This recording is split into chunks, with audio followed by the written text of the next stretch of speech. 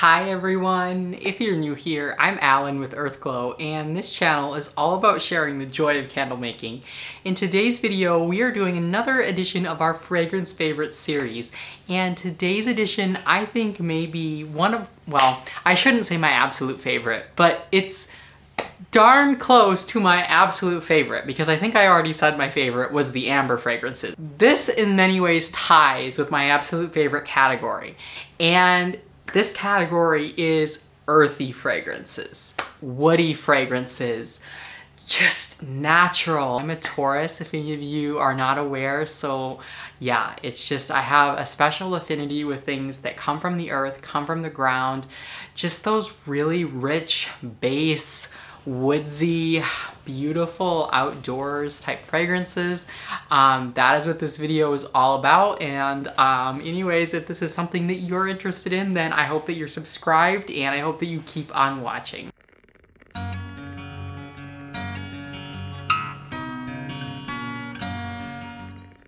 As I always say at the beginning of these videos, there is always a chance that a fragrance that I love you might not love and there's always a chance that a fragrance that you really like I may have on my fails list. And fragrance is just highly subjective. So all that said, uh, this series, as I've mentioned in all my other videos, outlines fragrances that I've had an extensive experience testing and or selling successfully in my own candle line.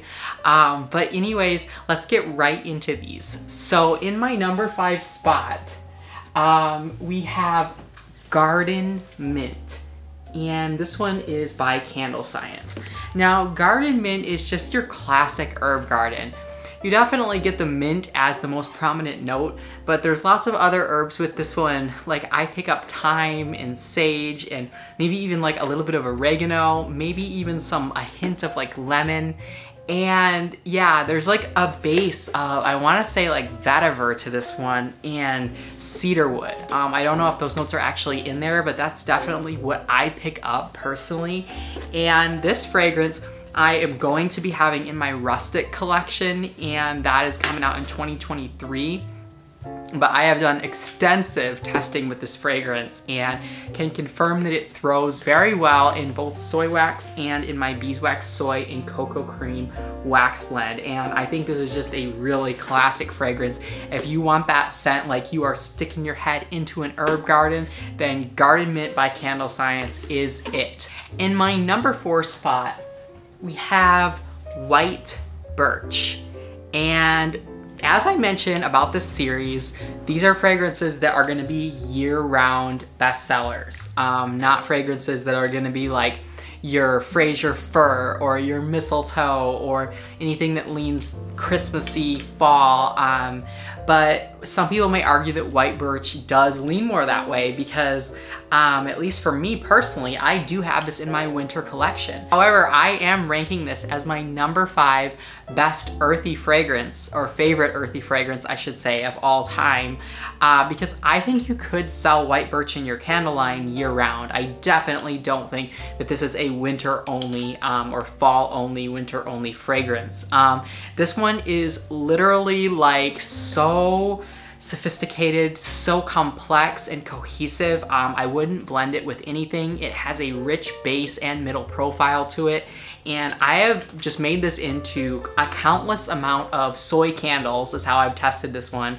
And the hot throw is really strong in this one. I've also tried mixing it with Frosted Juniper by Candle Science and I like that. Um, I actually did that as a solstice candle last year, a collaboration. But yeah, this white birch from Candle Science is just a real classic. It's definitely going to lean more towards your upscale lines, in my opinion personally. Um, just a really, really, really cohesive, well done fragrance. In my number three spot, we have Cracklin Birch, and you all can tell I kind of have a thing for birch fragrances. I know, I'm a little biased. Um, but trust me, there are a handful of other birch fragrances that I don't even have featured on this video. I don't bring anything to this table that I feel indifferent about. Um, it's either gonna be really good or really bad, or it's gonna be an honorable mention. So yeah, there's multiple other Birch fragrances that are not even in this video, but these two in particular, um, this Cracklin Birch um, in my number three spot and my number four spot, which was the white birch um, I think are just both exceptional and they're so different. Um, this Cracklin birch, like don't let this picture with the wolf, um, it's so much more than that. Like it's, it's a cute picture, right? But no, this is really, really, really, really, really um, a high-end fragrance in my opinion. It is one of the most cohesive fragrances that I have ever, ever smelled. I would not mix this one with anything. Um, the fragrance notes to it, in addition to the birch, you do get a lot of patchouli, amber, sandalwood.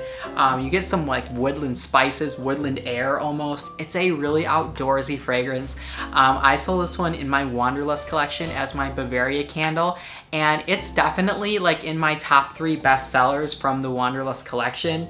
Uh, but yeah, this Cracklin Birch by Nature's Garden, hands down, takes my number three spot. And Wade from Black Tie Barn is actually who introduced me to this fragrance, um, and he was raving about it.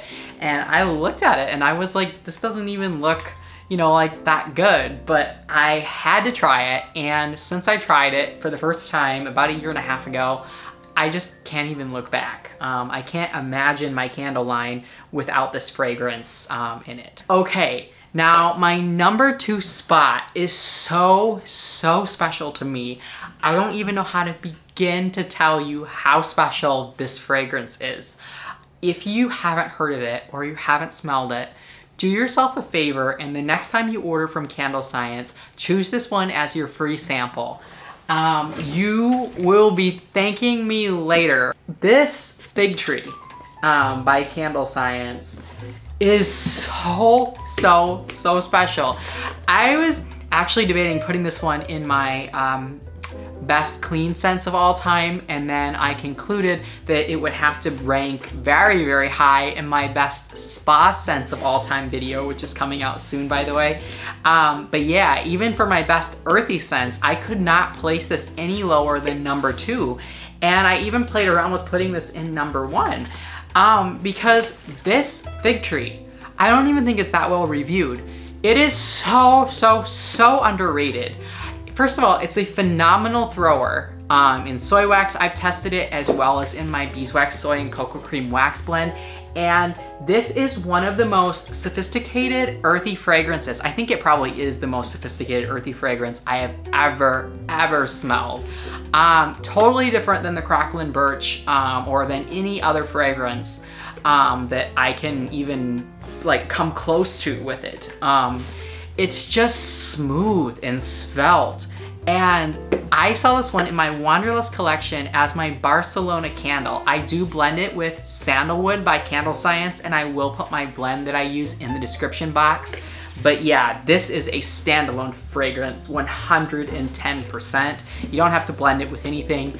Um, and yeah, this, this scent, like if you do anything spa, anything high end, like basically anything aromatherapy, this fig tree, um, it's so cohesive. I don't even know what I'm smelling. Um, I get the fig, yes, but there's also like some clean notes to this and like some berry almost, but it's not like a sweet berry. It's like a rustic, like blackberry or something almost, but there's like a little bit of sage to it. And there's such a well-roundedness to this fragrance. I could literally do a whole video on just this scent. Um, and yeah, so this is my Barcelona candle in my Wanderlust collection. It is my number one bestseller, hands down, in my Wanderlust collection.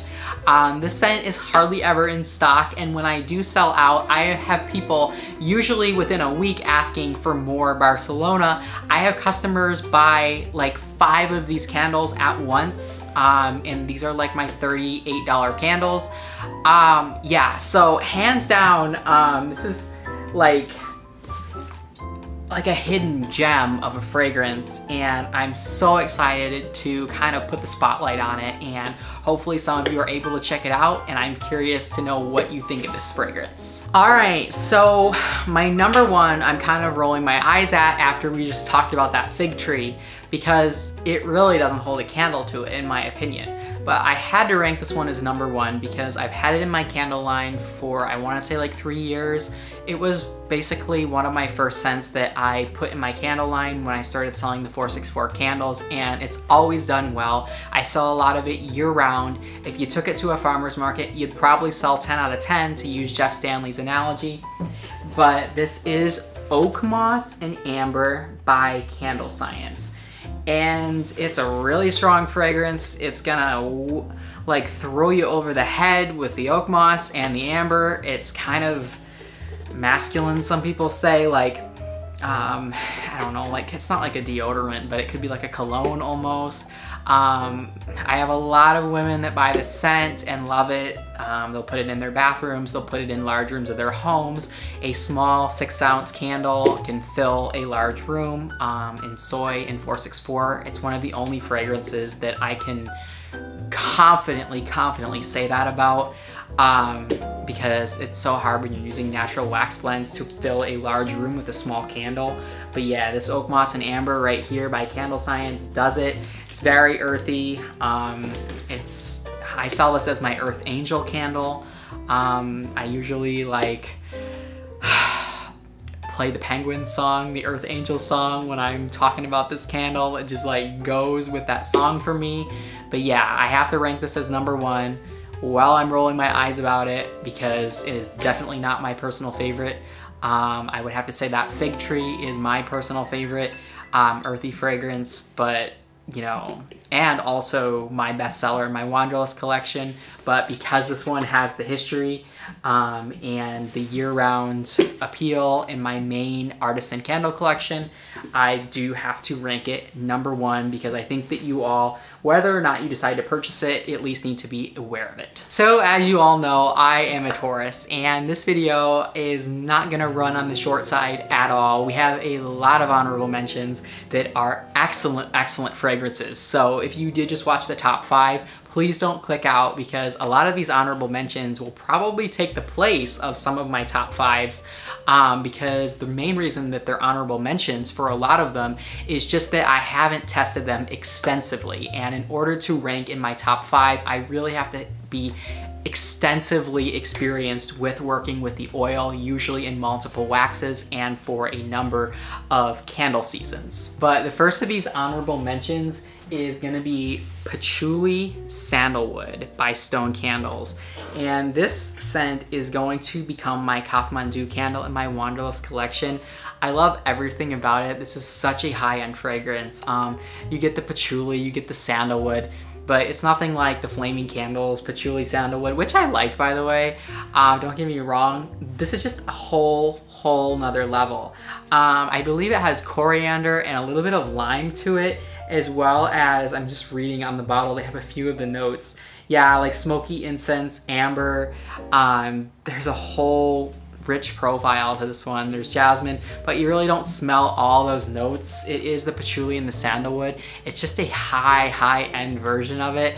And to me, it smells like Kathmandu. It smells like just like a sacred spiritual place. Um, oh, I adore this fragrance. I would have to say that this one probably will rank much higher um, as I gain more experience uh, working with it. All right, next honorable mention goes to Figuier by Stone Candles and this one I do have extensive experience using. Um, it is in my candle line and has been for I want to say the last eight months.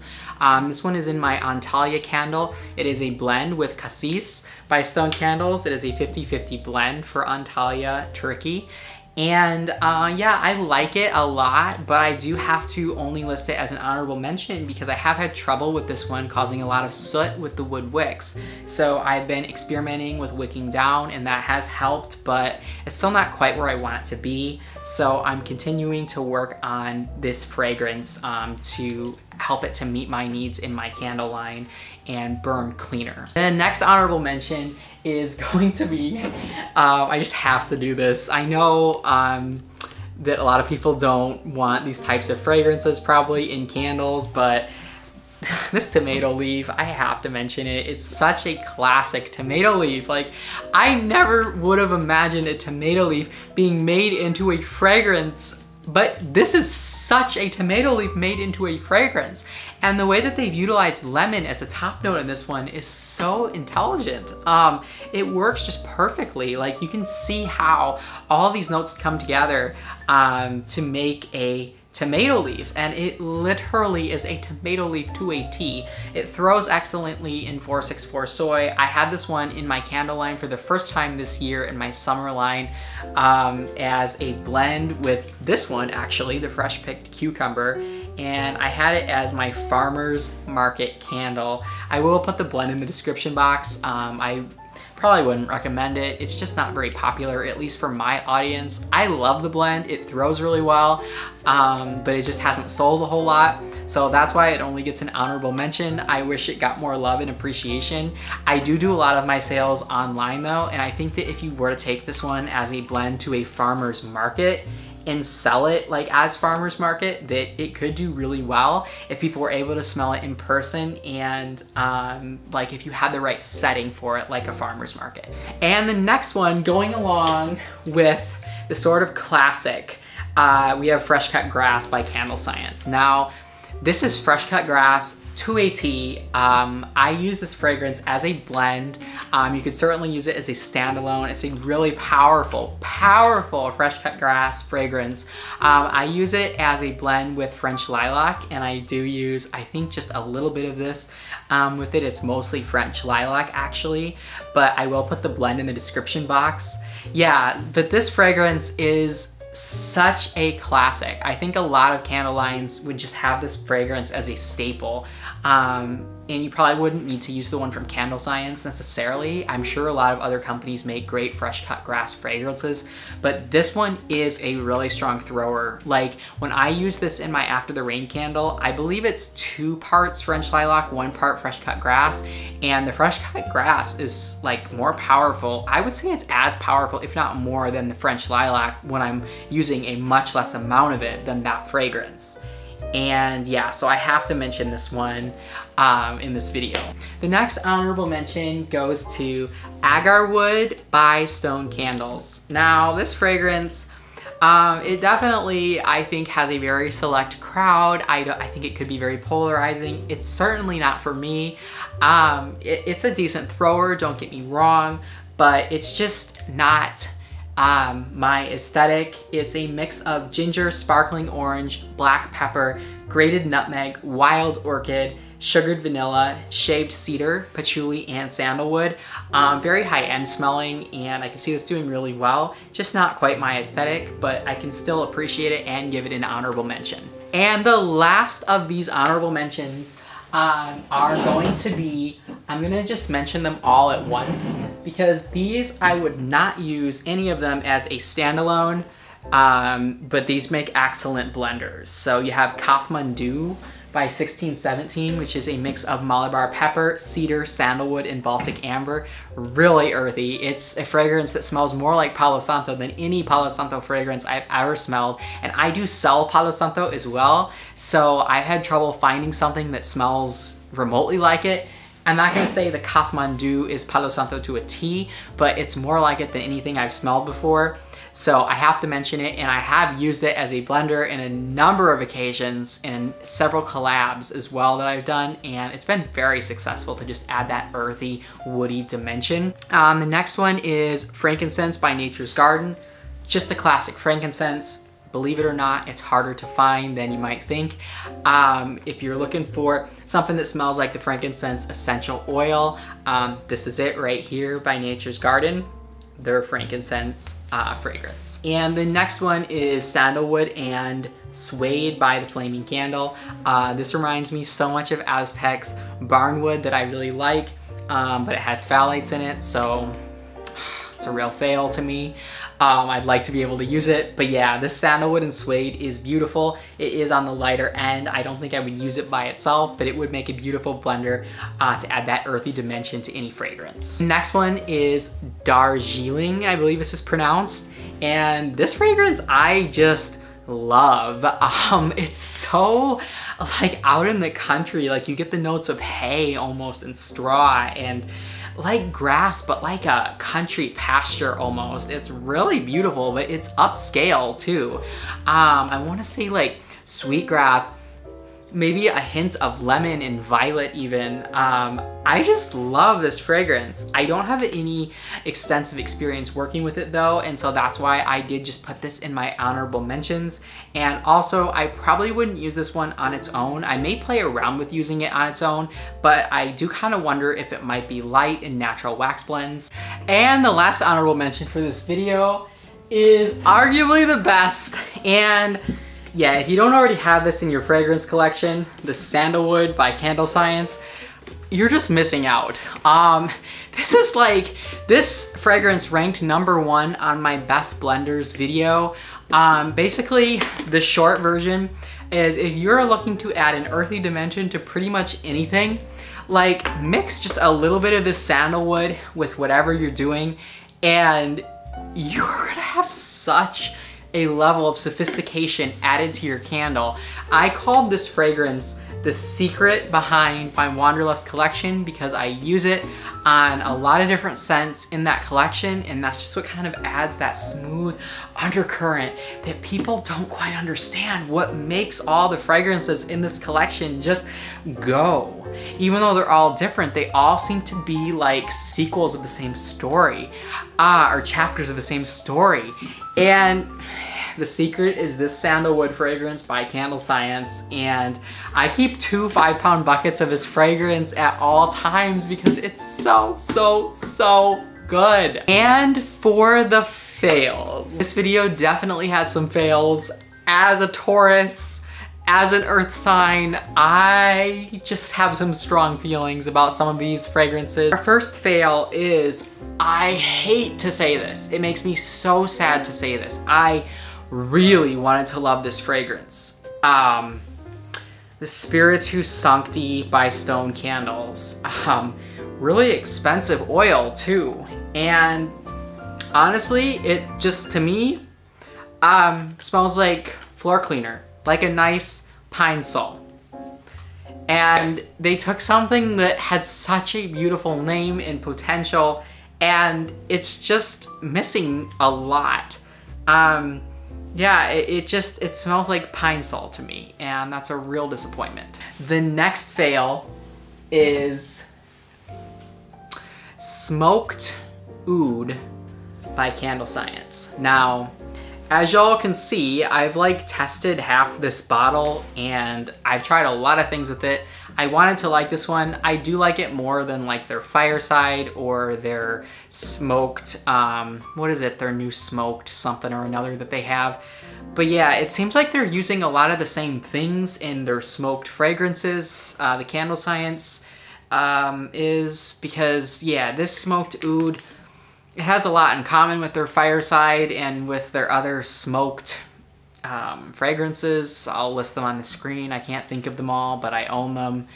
And yeah, it, it's pungent. And that's what I have to say about it. It's pungent.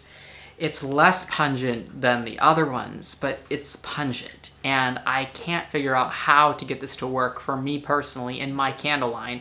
I think that it's well reviewed. I think that it might be an interesting one to use as your free sample if you don't know what to choose for a free sample from them. And um, yeah, it's... Uh, it's a real shame because I think this one could have had a lot more potential with the oud. And I love, love, love oud. And I love smoky fragrances, but I don't love fragrances that smell like smoke in your hair. My third fail for this video is um, Redwood and Cedar by the Flaming Candle. Now, this one also on the same aesthetic as the Spiritus Sancto Sanctus reminds me of, um, rather than reminding me of a polish that I would use on the floor. This Redwood and Cedar by the Flaming Candle reminds me of a version of Old English floor polish that I might use on my furniture, on my wood furniture. And it takes something like a redwood forest out west that's so beautiful and expansive and magical and makes it into uh, this version of Old English. And that is a real shame to me. I, I, really think that this fragrance has a lot of potential and I may play around with using it as a blender, but uh, very disappointed in Redwood and Cedar. And the last fail for this video is French Vanilla Oak by Nature's Garden. Uh, this fragrance it just smells like a suntan lotion. Kind of like Candle Science seems to have a tendency to use a lot of smoke in your hair fragrances for their smoky fragrances. I find that Nature's Garden tends to use a lot of suntan-like fragrances um, like for example, for their Amber Romance, um, Bath & Body Works dupe, that one to me smelled like suntan lotion. I think I actually threw that oil away. Um, there are several that I smelled. I think they're Rosewood. No, not their Rosewood, that's a good one. But there's another one that I'm thinking of that I'm gonna put the name of on the screen that also really, really reminds me of suntan lotion. Um, so yeah, this French Vanilla Oak, I think that um, that kind of is all I have to say about it and um, I would pass on that one. Well, that is all for today's video. If you made it all the way to the end, comment fueled by nature in the comments section and you will make me smile because this video was really special to me and it just is close to my heart as an earth sign and yeah I just I love love love earthy scents.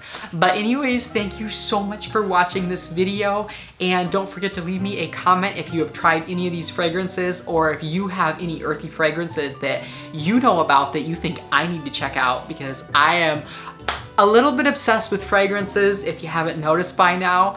But anyways, I'm wishing everyone peace, love, and light, and happy candle making.